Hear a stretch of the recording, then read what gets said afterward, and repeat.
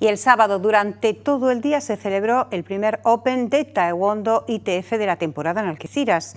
Los clubes y las escuelas de la comarca estuvieron presentes en este Open algecireño, el cuarto de los cinco que tiene programado el Departamento de Taekwondo ITF de España para 2022, con el visado de la Real Federación Española y el Consejo Superior de Deportes. En esta ocasión, el evento contó con más de 450 competidores y sumó más de mil participaciones en las diferentes modalidades de competición.